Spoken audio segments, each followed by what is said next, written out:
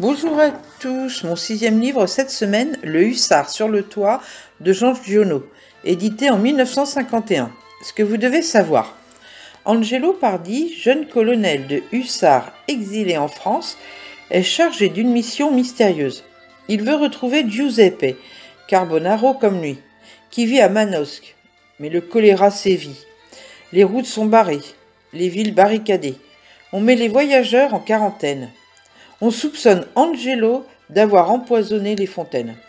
Seul refuge découvert par hasard, les toits de Manosque.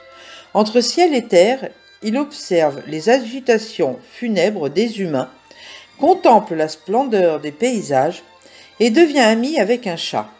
Une nuit, au cours d'une expédition, il rencontre une étonnante et merveilleuse jeune femme.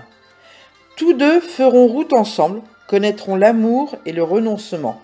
Bonne lecture, ciao